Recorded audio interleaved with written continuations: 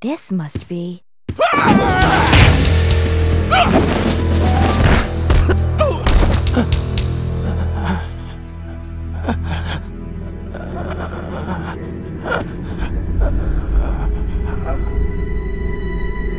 What? No!